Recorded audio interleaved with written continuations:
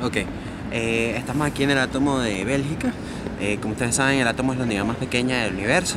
En su centro pueden encontrar siempre eh, neutrones y protones. Alrededor siempre están electrones que están orbitando. Por eso tenemos estas bolas exteriores. este representa el átomo de hierro y en realidad toda esta estructura fue hecha por, en el año 1954 por motivo de una, de una conferencia que se hizo aquí en Bruselas y fue la primera conferencia que se hizo después de la Segunda Guerra Mundial y fue para generar un poquito de conciencia acerca de las armas nucleares y como estaba todo el entorno de la Guerra Fría, eh, pues bueno, este, este, fue un lugar ideal para que se reunieran todos los países de Europa, eh, oriental y occidental.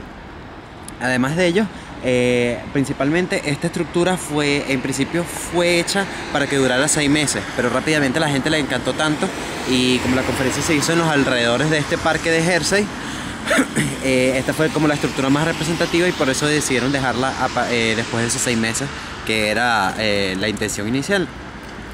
Todas las esferas que están aquí están abiertas a, a, visita del público. Hay un ascensor que te sube hasta la cima de, hasta la esfera más superior de allá arriba.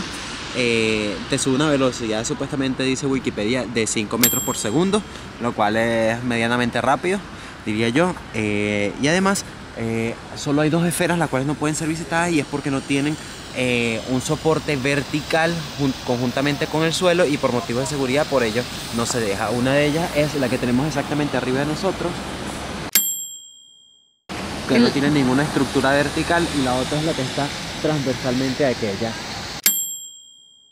en, el, en la parte opuesta. Ven que ninguna de ellas dos son las únicas que no tienen eh, columnas verticales y por lo tanto no permiten visitas por razones obvias, por razones de seguridad. Y eso es todo lo que deberían, digamos, en primera instancia saber sobre este átomo. Eh, para mí representa como una conciencia de lo, que, lo importante que es la ciencia y de cómo acompaña el desarrollo humano. No solamente la parte de emprendimiento y todo eso, sino también la ciencia va de mano con el emprendimiento y es lo que permite que la humanidad siga creciendo y siga avanzando y ya.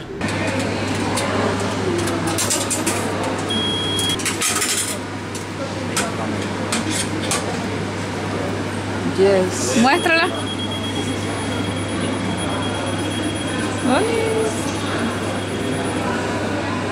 ¡Qué linda! Y ya.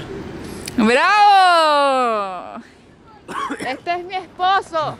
No joda.